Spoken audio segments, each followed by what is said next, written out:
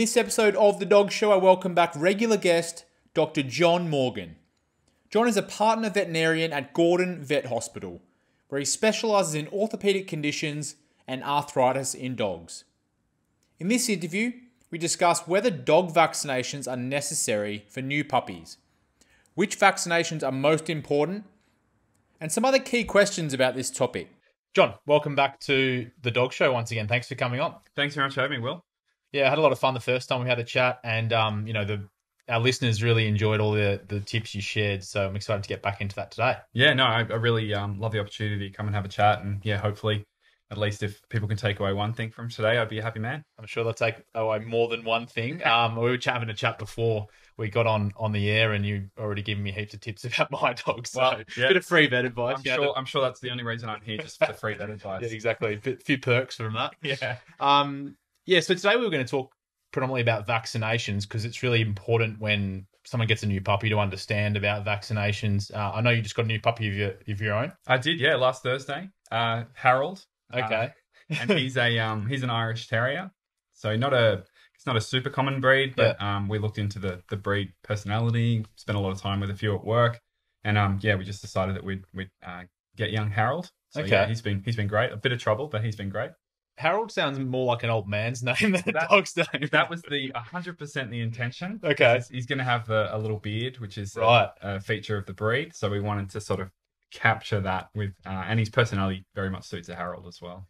Funnily enough, my brother and I used to live together, and we always spoke about getting a dog and all this kind of stuff. This is before I had my first puppy, oh, yeah. and um, we always joked that we'd go with the name Graham because it just yeah. wasn't a dog's name at all. no, no, and that's the names that I always like to go for are the ones that, that we don't see that much at work. And yeah, I, yeah. checked on Harold, and there's about five in the whole history, cool. of the 50 year history of that practice. I'm like, yeah, yeah, right. Yeah, that'd be interesting data on the names. Yeah, the name stuff's pretty interesting. And we've had, we've had, I mean, a cat. I know we shouldn't be talking about cats, but we've had a cat um, that was known as God, Emperor of Mankind. Oh wow!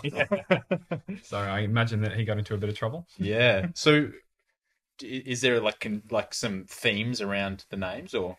Uh, I guess they sort of follow trends. I would say. Mm. Like uh, I definitely, you know, we had a run of Molly's. We've had a run of um, Cocos. You know, mm. like you sort of see trends in in the names generally, and then there's a few outliers uh, in there. Um, some people have really interesting names. Like I saw a dog called Aspen yesterday because okay. um, of the red rusty color.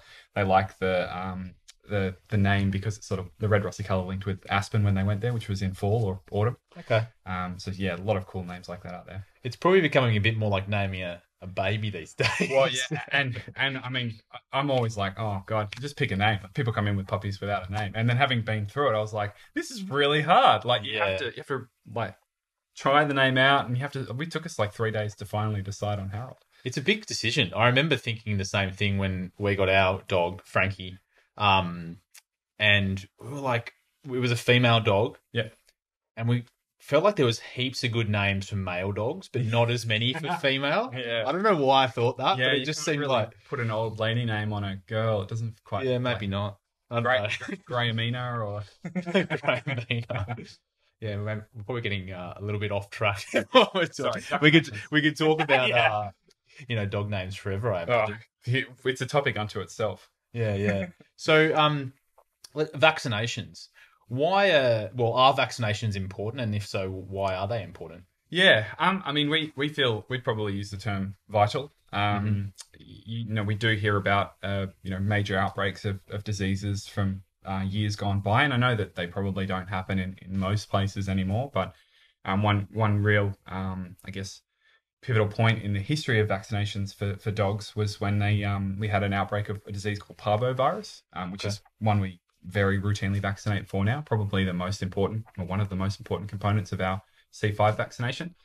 Um, and that that actually, um, because of the lack of herd immunity, which I'm sure you um, viewers and listeners are very familiar with, um, we we saw this massive, massive outbreak in the 70s and 80s where you know, literally millions of dogs developed this really bad gastroenteritis, which caused you know upwards of beyond 50% fatality. Oh wow. Yeah, so um and and now thankfully um people are much more savvy on vaccinations and we have this herd immunity and while there are clusters of parvovirus it's still going around, fortunately we we don't sort of see that epidemic level of, of disease that we saw back then. Yeah, it's interesting. I just had a bit of a, a brain fart as you're talking, like comparing the vaccinations you give your dog to you know what the world's experiencing at the moment. I never kind of put the two together. I just thought vaccinations that dogs getting, yeah, it's their health and the rest of it. I never kind of thought about how those two um, relate in terms of you're talking about kind of pandemics in the past for yeah, dogs. yeah, yeah, and and and they you know they still happen on, on a um, probably not as significant as COVID level, but we're, we're certainly still seeing uh, you know mini spikes in kennel cough, which is a respiratory disease at dog parks. Again, something that we vaccinate for. Um, and, and definitely, yeah, there's there's benefits in having a vaccination to stop outbreaks of that, which has a far lower fatality rate, but definitely can affect a lot of dogs and, and cause pneumonia in some cases. Okay. Okay. Um, again, you know, it, while vaccines um, by no means are perfect, and some diseases, diseases do sneak through that barrier protection, they're really, really important to, to try and um, provide that herd immunity and, and really, really stop these major disease outbreaks. Okay. So what are we? What are you talking about? Um, are the most common vaccinations? Are they different by age? Are they different by location, geography? Yeah, definitely. Um, so, I mean, I guess my experience, I've, I've done a bit of work in the UK and a bit of work in um, Canada. Um, Okay. So I sort of have a bit of a grasp on on those kind of areas, but across the world, you know, people vaccinate for very different things because the disease is much like with humans, Mm. uh, sort of pocket in in certain areas. But as far as uh, where we are, Sydney, um, the C5, um, which covers five diseases. Okay. So um, Hence the name. the name, um, and C for canine. Um, and it's uh, distemper, hepatitis, parvovirus, parainfluenza, and bordetella. Um, Mhm. I'm not going to go into too much detail on those, but basically that's just the the core five that we feel Mhm. is is the most vital to provide coverage for. There are a few exceptions to that. Um, recently, actually, we had an outbreak of a, a disease that's spread by rats um, called leptospirosis. Um, and that that actually uh, is is much more common in, in northern parts of Australia, and we do also see different um, subspecies or, or different types of that that bacteria in Canada, the UK. So they all they all do vaccinate for that in different parts of the world, um, depending on rat populations, temperature, those kind of things. Okay. So are vaccina- vaccinations like are there, is there a higher rate of vaccinations for dogs in like I guess um, Western countries compared to maybe third world countries or other countries? Or Yeah, I mean, so I mean, look no further than our own backyard, I guess. Um, so in a lot of Indigenous Australian communities, the rate of vaccination is sort of at the floor. Right. Um, so there are a lot of, of, of vet services that get out to remote Indigenous communities and do vaccination programs, but they're really only getting vaccinated, you know, once every one to two years, and the dogs that can be caught at the time. So if a litter of puppies sort of comes in between that, which you know, basically a, a theoretically a dog can have a litter of puppy every six months, um, then we're uh, we're sort of well, a bit more, but um, uh, we're sort of looking at, at all these populations of puppies that could be uh, predisposed in those communities within Australia. So, um, and and that you know could be extrapolated to a lot of, of third world or, or sort of developing nations. Okay. So when when- when do I, if I've got a new puppy, when do I need to get the C five? Yeah, so the um, the very first vaccination uh, most piece, people do would be a C three vaccination. Okay. um, which would be the eight week. So that's just the um, uh, distemper, hepatitis, and parvovirus alone. Mhm. Um, and then we recommend um, this is a very topical um, program as well. So Okay. I, I wouldn't I wouldn't sort of take what I say as gospel. Every vet's a little bit different, and Okay. again, this is very regional. Um, but at our practice, we do um, eight weeks, twelve weeks, and sixteen weeks. So eight weeks is just a C three, a C five at twelve weeks, and a C five at sixteen weeks. and is it before that C three? It's recommended that the dog doesn't kind of go outside or interact with other dogs, that kind of stuff. Is that- yeah, I mean, uh, well, in, in Sydney at least, most dog most dogs wouldn't have gotten to a new home yet. Yeah. So, um, in most cases, the dogs that we're seeing have already had the C three, which is great. yeah. Uh, most breeders that um, we experience are, are pretty savvy on vaccinations, and we find that that one's already covered.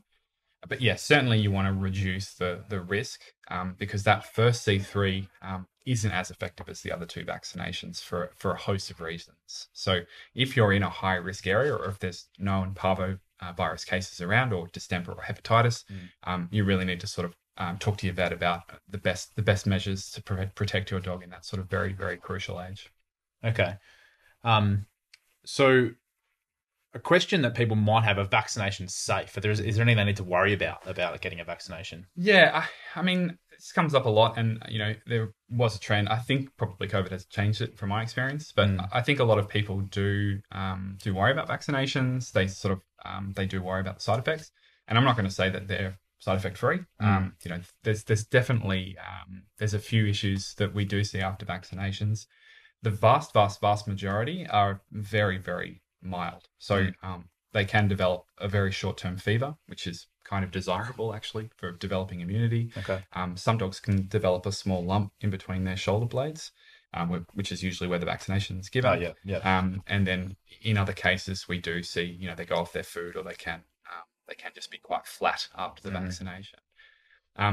They're they're sort of not uncommon, so you Mm. probably see them in around about five to ten percent of cases. Most dogs, you know, aside from a little bit of itching at the injection site, recover quite well. Mhm. I actually gave Harold his um, second yeah? vaccination last week, and he was absolutely fine. So Okay. no no symptoms whatsoever. He's pretty much straight back back at him uh, within twelve hours. He must be pretty active at the moment, I imagine. Oh yeah, oh yeah, yeah, Learning his way around. yeah definitely. Teeth teeth first. Oh Ask yeah. questions later. So we're working on it. so now, after giving advice to people for so long about it, you've got to you're actually hitting it head on. yeah, and that's that's been the hardest thing is like not um is being on the other side of the fence. It's really hard. You know, Mm. Yeah. like you can I can give out all this advice and we can have all these conversations about what to do, Mm. but it's really hard to, Yeah. to sort of actually yeah, there's action. theoretic the- theory and then action. right, Exactly. well. Yeah. In, in practice, it's very difficult, and I sympathise. If anybody has seen this that I've seen before, and I've been a little bit blasé, I apologise. um, one question I just thought of then is ar- around rescues as well. So most, I guess, uh, rescue organisations will vaccinate dogs before they get rehomed. Is that is that common or? Um, they will, yeah. They, I think that most of them have that uh, at least one C5 without because they Yeah. often have a checkered vaccination history or, Yeah. or no vaccination history. Um, so yeah, all of the good rescue groups will definitely administer a, a vaccination either at the time that they go into the shelter Yeah. or as they go home. Um, Okay. Also, because the prevalence of a lot of infectious diseases is unfortunately quite high in those settings as well. Mm. So vaccination Of course. there is, is really, really vital. Um, important to note, though, the, the, the lapse between um, vaccination and um, and protection from those diseases varies greatly between the the disease, but it can be up to two weeks. So Right. again, always talk to your vet at the time if you if you're really putting your dog into a high risk situation like a kennel or um, you know in, in an area where there is a known disease, just have that conversation and, and ask the right questions.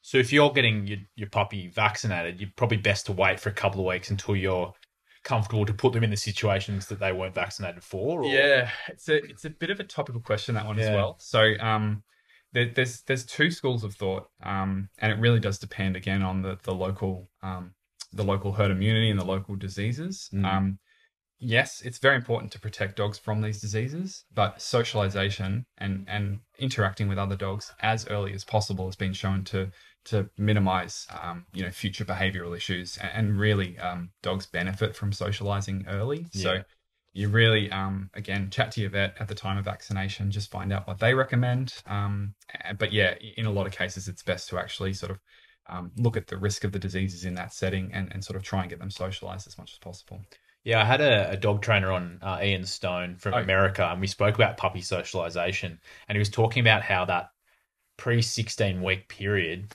or 8 to 16, because that's after they come from the breeder, whatever it is, is so important in terms of being able to socialize and, and learn the habits they're going to have for the rest of their lives. yeah exactly and i Yeah. think um i think that the you know we want to sort of protect them and we don't want anything to happen to our puppies and Mm. you know I, i've only known harold for a week but i'd be devastated if anything happened to Yeah, him of course. Um, but you, you really do. Uh, you need to sort of get them out there, and you really do. Uh, I totally agree with them. You know, socialization before that age is, is so vital, Mm. um, and and it just makes for them to be happier and and for the relationship with humans to work a lot better as well. Okay. Okay. And so, one final question about vaccinations: they need to be boosted, or do you need to get them on a regular occurrence to kind of make sure that they're still working? Yeah, yeah, definitely. Um, so we the the C three component, which I've been banging on for a while um, about. Yeah. uh, that that one um that one has longer term immunity. So a lot of vets will do a, a three year booster. We typically do annual, um, just because it's simpler and we find that the immunity that you get for it is a lot more reliable. Mhm.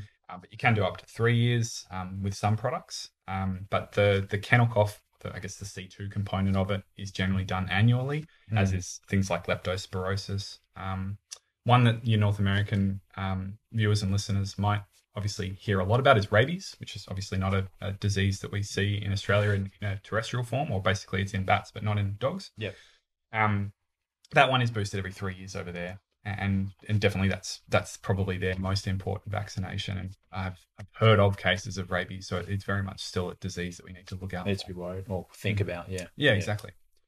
Great. Well, that's I think everything we need to know about vaccinations for now. Yeah. Um, but I think if I was to to summarize it, speak to your vet.